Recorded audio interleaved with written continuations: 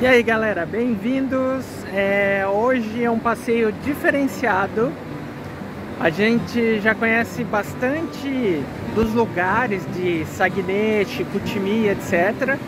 E agora a gente descobriu um outro lugar um pouquinho mais afastado, que tem uma trilha na beira de um rio maravilhoso aqui, que é continuação de uma barragem. Então vocês podem conferir aí atrás, ó. Olha que legal esse rio. Deixa eu virar a câmera. Olha que linda essa paisagem, hein?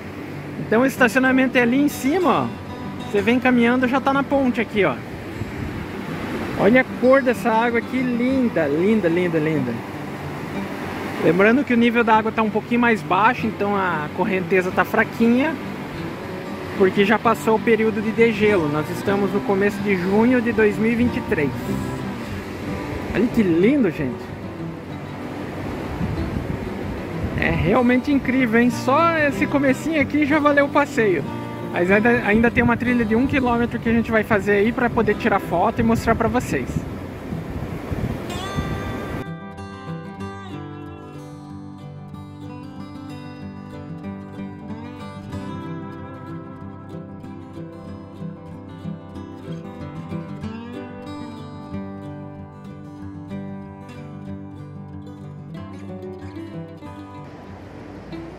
Então galera, esse aqui é o começo da trilha do Chute Galette.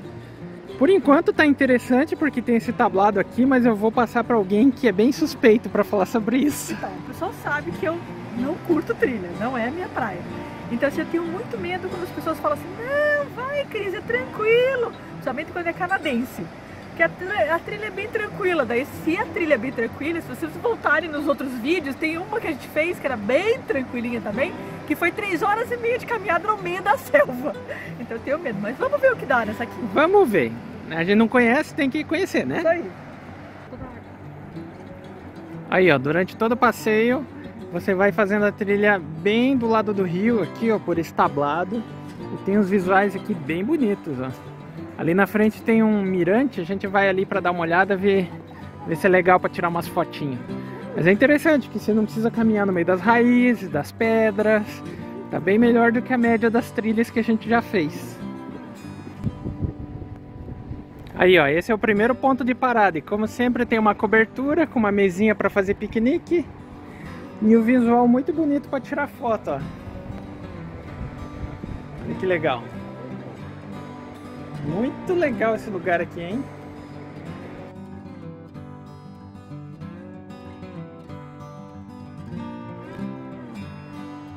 Então, galera, a gente optou por fazer a trilha de um quilômetro, que é essa aqui do tablado. Mas se você quiser, tem uma trilha um pouquinho mais rústica aqui, que é chão batido, raízes e etc. Que se chama Sentier au Belvedere.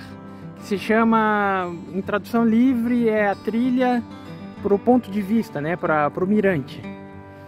E daí lá, essa trilha, inclusive ela é bastante íngreme, ela tem uma, uma inclinação aí, uma, um ganho de altitude de 300 metros, porque ela vai até o topo da barragem. Então a gente vai na base da barragem. Aquela trilha vai lá ao topo, por isso que ela é de 3 km e não de 1 km como essa que a gente está fazendo. Mas vamos continuar aí. Aí galera, e a gente chegou aqui no Chutelgalete, no, no facinho, né?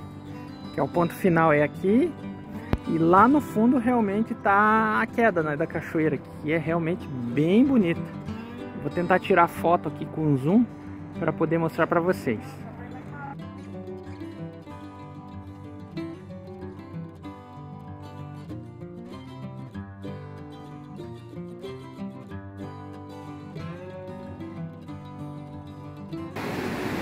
Depois de 20 minutos de caminhada, qual é o teu veredito?